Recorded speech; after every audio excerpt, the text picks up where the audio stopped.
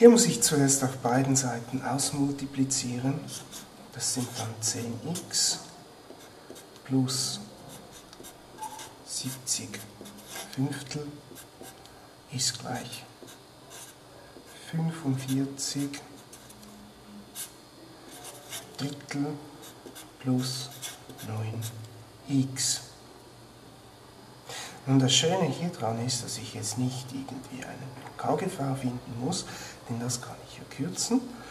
Dann erhalte ich 10x plus 70 Fünftel sind 14, 45 Drittel sind 15 plus 9x. Ich subtrahiere auf beiden Seiten 9x. x plus 14 ist gleich 15. Jetzt noch minus 14 auf beiden Seiten.